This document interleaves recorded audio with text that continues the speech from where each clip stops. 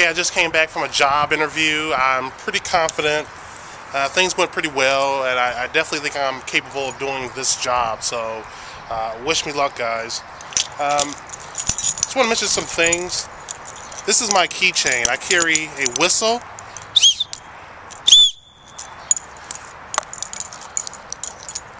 I carry a magnifying glass on here. And I carry a thermometer. Gives me an idea what the temperature is. And I also have a compass on here that tells me where is north.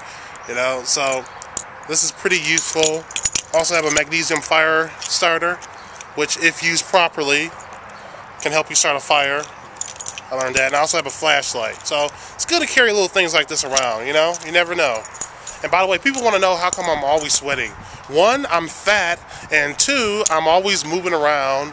Uh, three, that house is warm, man. They keep the temperature up high in there, really high. But anyway, did I mention my college degree? Not really. You know, I didn't really think it was relevant. I had experience in retail, so I thought that was more important than any type of degree. You know, a lot of people don't want to mention this, but the fact of the matter is, with this economy, a college degree can actually work against you. So I want to know how many of you guys feel as though your college degree is actually working against you, actually preventing you from getting certain types of jobs. Because it's really interesting that a lot of people are going into debt, tens of thousands of dollars uh, of debt, just so they can be in a situation where they would get the same type of job that they would have had had they never went to college in the first place. And now they're actually being punished because they actually have a degree. So you guys tell me what you think about that. Another interesting thing is I came across an MSNBC article or it was a, a video uh, that, that, they were talking about a news story that uh, a British study showed that when women were rating men, they would give men higher ratings if they had nicer cars. Basically, they would show a bunch of average-looking guys. They would put them in average-looking cars, and then when, it, when they took the same guys and put them in more expensive cars, women would actually give them a higher rating.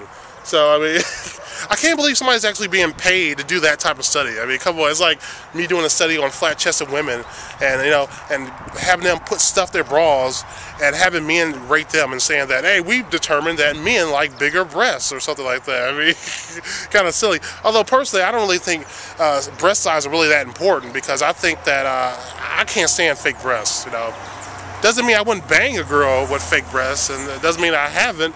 But I'm just saying, fake boobs are sort of a, a turn off. But anyway, you know. But there are some women like uh, Riley Steele who are just like smoking hot, even though they have fake boobs. But anyway, what do you guys think about uh, the whole college thing? Look forward to reading your comments. Auf Wiedersehen. Oh, and then the phrase of today is going to be "the gates." That is, how are you? The gates. That's German for how are you. Oh, by the way, it was a good idea for you guys to mention that I should put a plastic bag over my sleeping bag because it does rain and it does protect it against uh, rain. So, again, thank you guys for that suggestion.